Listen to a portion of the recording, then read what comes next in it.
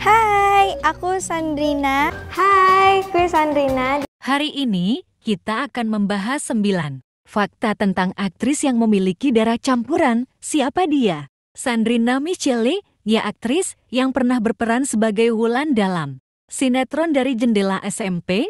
Sebelum aku mulai jangan lupa pencet tombol subscribe dan nyalain tombol notifikasinya biar kalian tidak ketinggalan sama konten aku berikutnya. Nomor 1. Mengawali karirnya di usia balita. Nama Sandrina Michel sudah tidak asing lagi didengar. Ia gadis yang membintangi sinetron dari jendela SMP ini. Ternyata mengawali karirnya di usia 4 tahun.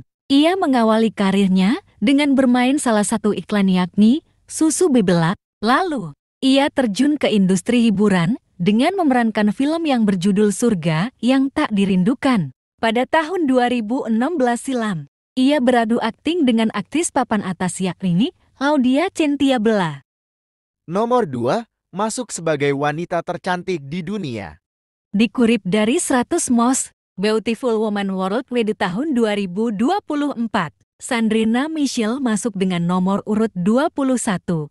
Tak heran Sandrina Michelle juga pernah dijejerkan dengan AKTRAS. Hollywood seperti Dua Lipa Natalie Portman dan dinominasikan dalam nomine Faces tahun 2021 versi TC Chandler. Nomor 3. Suka bermain film horor. Sandrina Michelle pernah beradu akting dengan Prilly Latuconsina di film Danur 1, I, Cancer Ghosts, Danur 2, Madah, dan Danur 3, Sunyaruri. Tak hanya itu, Sandrina juga beradu akting dengan Julie Estelle. Farel Akbar, Sandy Olia, Nikita Willy, dan Karina Suwandi di film Kuntilanak, Rasuk, Silam, Kuntilanak 2, dan Rasuk 2. Nomor 4. Mempunyai adik perempuan. Ternyata Sandrina mempunyai seorang adik perempuan yang bernama Rachel Georgetes Kornicki. Ia juga kerap membagikan postingan di akun Instagram pribadinya bersama sang adik. Sandrina juga dibilang sangat akrab dengan sang adik. Nomor 5. Berprestasi di bidang akting.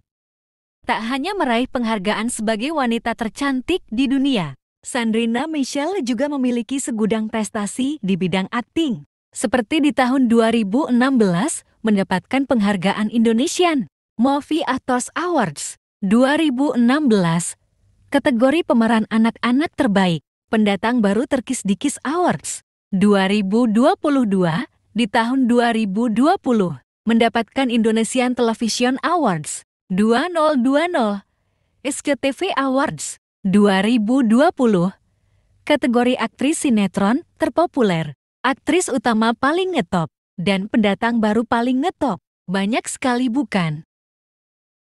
Nomor 6. Memiliki follower banyak. Tak hanya pandai dalam berakting dan mendapatkan banyak prestasi, Sandrina juga mendapatkan banyak followers di Instagram, yakni 12 juta lebih dengan 149 postingan dan 847 mengikuti.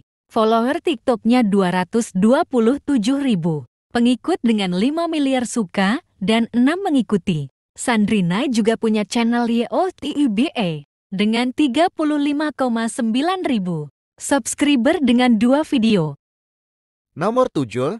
Berpisah dengan ayahnya selama 7 tahun. Sejak saat kecil Sandrina sudah berpisah dengan ayahnya karena ia tinggal di Indonesia bersama sang ibu dan adik perempuannya. Sedangkan ayahnya tinggal di Amerika.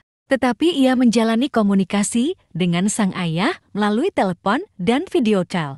Sang ayah juga pernah berkunjung ke Indonesia pada saat Sandrina masih memerankan sinetron dari jendela SMP sebagai Wulan. Saat itulah Sandrina dan sang ayah bertemu setelah sekian lama tak berjumpa. Nomor 8. Akrab dengan Laudia Cynthia Bella. Sejak satu proyek di film Surga yang tak dirindukan, pada tahun 2015 silam, Sandrina Michelle dan Laudia, Cynthia Bella semakin dekat, layaknya seorang ibu dan anak. Mereka juga pernah pergi ke Korea pada tahun 2018 silam. Tak heran jika kedekatan mereka berdua terjalin karena mendapatkan peran sebagai anak dan ibu di film Surga yang Tak Dirindukan. Sebagai Arini ibu dari Nadia. Nomor 9. Menjalin hubungan dengan Junior Robert. Junior Robert dan Sandrina Mitchell sudah menjalani hubungan sejak 2023 silam. Mereka berdua kerap membagikan foto dan video keromantisan mereka berdua. Meskipun ternilai cukup jauh soal umur, tetapi bukan penghalang untuk mereka tetap bersama.